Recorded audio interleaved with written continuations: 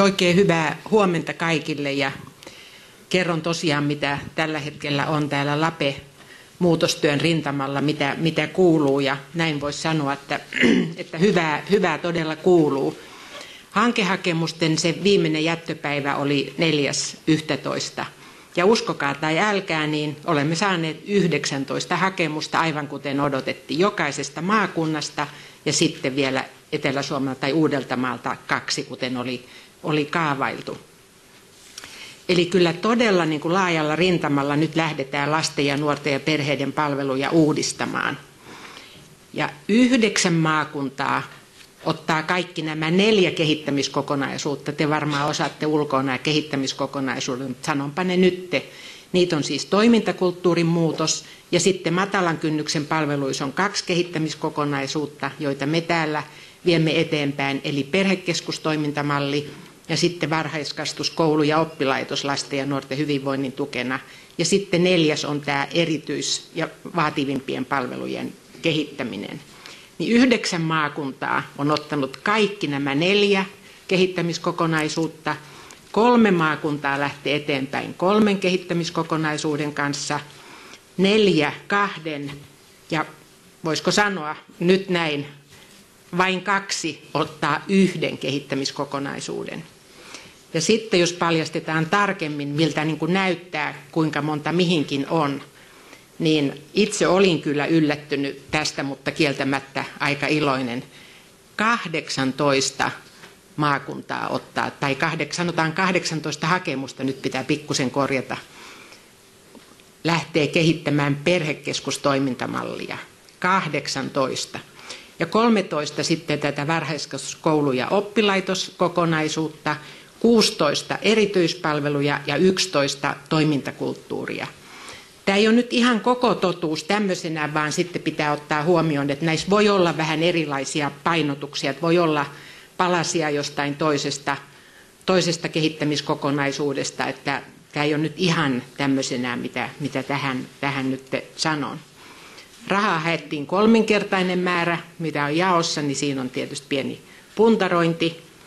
Ja nyt sitten käynnistyy tämä näiden hakemusten arviointi ja se on tarkoitus tehdä marraskuun loppuun mennessä ja päätökset sitten joulukuussa tämänhetkisen tietämän mukaan taisi olla aaton aattona, kun päätökset sitten vihon viimein julkistetaan ja lyödään pöytään.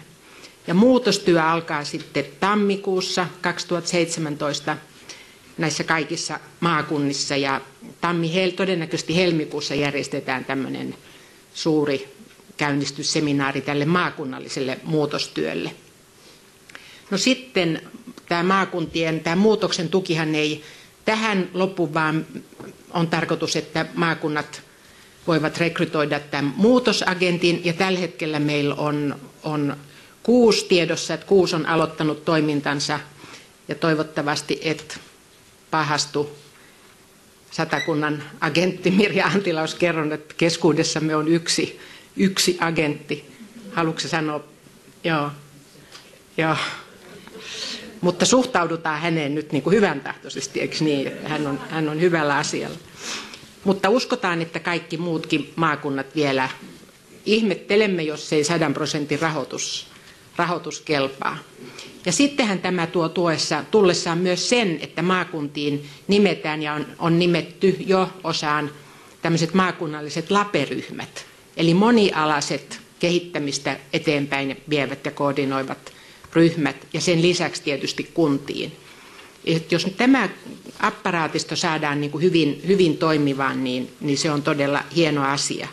Sittenhän on tarkoitus, että näitä muutosagentteja yhdessä valmennetaan ja koulutetaan ja heidän niin kuin, työnsä ja kehittämispanoksensa liitetään yhteen tietysti tähän sote-kokonaisuuteen. Sotellahan on jo olemassa muutosjohtajat, niin tähän muutosjohtajien koulutukseen ja, ja työskentelyyn, että se on, se on todella tärkeä asia, että nämä lasten, nuorten, perheiden asiat ovat, ne eivät ole vain sote-asioita, mutta ne ovat myös painavasti sote-asioita, että ne ovat mukana tässä, tässä kehittämistyössä. Ja sote-lausunnoista todettakoon tähän lopuksi, että, että sekin on kirvoittanut paljon kommentteja, mitä olette lehdistä lukeneet, niin yli 700 lausuntoa on tullut, että siellä on nyt pikkunen lukupuuha ja kokoamispuuha menossa ministeriössä ja yhteenveto on luvattu marras-joulukuun taitteeseen. Mutta tältä näyttää tältä, tällä hetkellä tämä LAPE ja lasten, nuorten ja perheiden palvelujen kehittäminen, eli aika hyvältä, vai mitä?